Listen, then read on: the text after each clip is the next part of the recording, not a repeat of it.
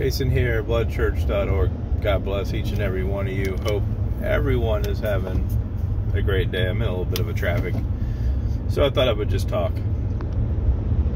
If you're new to the channel, subscribe, thumbs up, like, and you can always join us over at uh, bloodchurch.org. I have a lot of valuable information, just links to other videos, as well as just information that you might find useful in life. I'd check it out.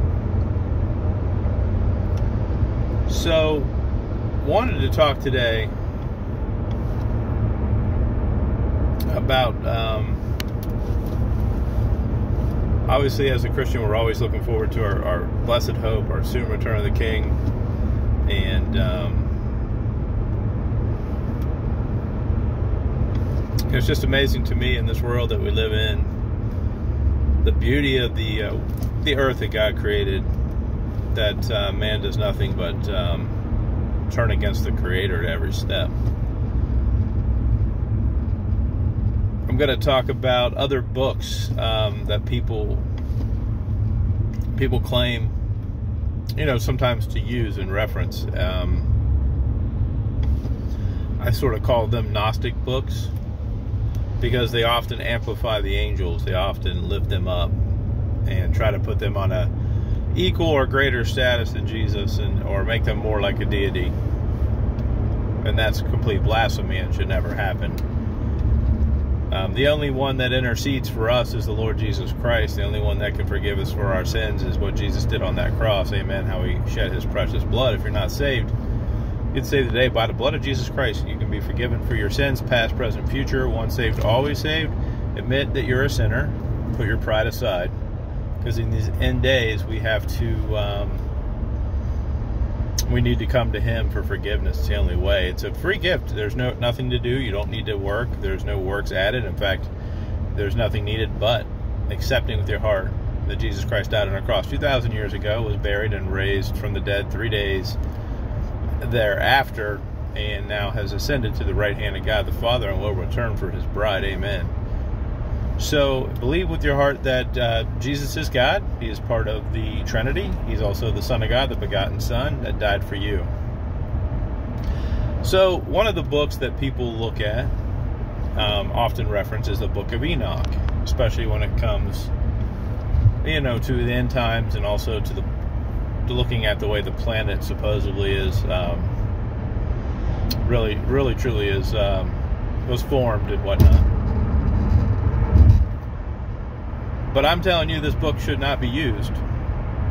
It has Gnostic written all over it. First and foremost, if you read Enoch,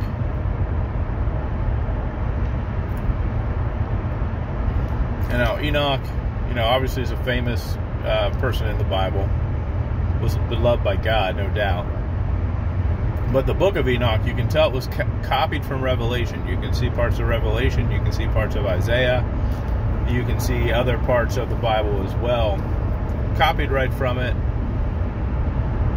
And um, in those verses, you'll find that they'll say things like the angels can be used for for intercession. It mentions four angels in one part, and one of them it mentions could be used for intercession. That's not true. Only Jesus can. So it's blasphemy, and you can just see the whole language of the book is Gnostic, Gnostic, Gnostic.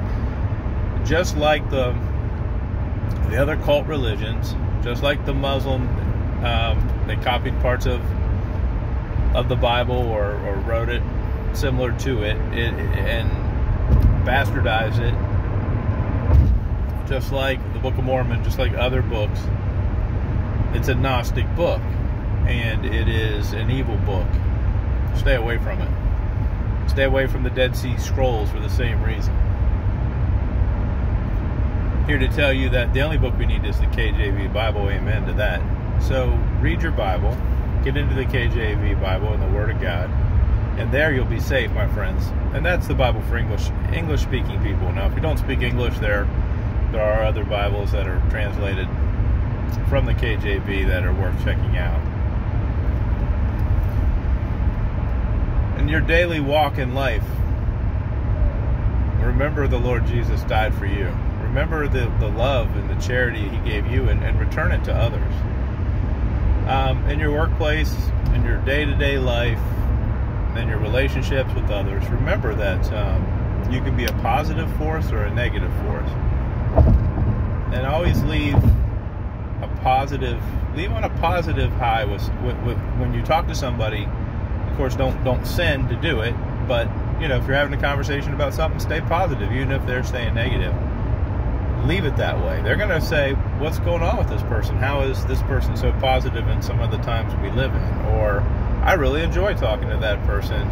And they'll start to see the wisdom and the way you see the world and the way you live your life. And they'll want and they'll desire that. They'll desire your calmness. They'll desire the way you look at things and the way you love others, even though maybe um, that person isn't always the nicest person in the office, maybe, for example keep in mind that the relationships that you build can be built slowly over time. And when you when you interact with people in a way that's powerful and positive and loving and caring and concerning and really truly caring about the other people and their problems that doesn't mean go give them all your money and that doesn't mean those things. But sometimes just to listen to people and to be there for people is all it takes and then what you can do is God will open up a door to minister to them and their family members. Now, what do you do when you've tried and, and people aren't hearing the gospel? I, I, get this question, and it's that's a tough one. Um, I think you've got to pray daily for them. I know, and it might not be you that is the one that is going to deliver home the final message of salvation. It might be, it might be somebody else if you know other people that um, what I would do is encourage them to to come to church, to attend Bible studies, or to watch videos maybe online of somebody um, like myself, or uh, any, there's a lot of other great evangelists as well. It doesn't have to be me, but I encourage that you bring them along and let them watch with you, and then just sort of say, "Hey, I want your thoughts on this video." That's a great way to get someone to watch something. Um, and sort of you know tricking them into watching it, but it's a great way to do it. I would recommend to not press too hard, to not drive them away. If you've given someone the message of 1 Corinthians 15, 1 through 4, or John 3, 16, and, and they're just not having it, there's no reason to keep throwing it upon them constantly. But every once in a while, I certainly would bring it up again. That, hey, I wish you would consider what I talked about and how to be saved. you know, I think there's no better time than today you know, paint a little bit of a picture of urgency with the decision. There's nothing wrong with that. But you certainly don't want to drive them away. And the prayers and, and, and, and praying for them continually and and then maybe like, hey, watch this video or check this out or get them to come to a you know Bible study if you have if you do have a good Bible believing church. Maybe somebody else hits home. You know, maybe somebody else's delivery or personality is more effective than your own, and th- and that's okay. It's it's you, know, you didn't do anything wrong. In fact, you were loving enough to admit that maybe you weren't going to be the one to, to bring them to salvation. And, and you know what? That's that's probably better. Um, that you try different methods and, and, avenues, but I would not give up on them either. Um, it, remember, it's your job just to give the message. It's not your job to make sure they're saved. So a lot of people get caught up in, well, geez, I'm you know I'm not doing a great job. That person's not saved. This person didn't hear the message.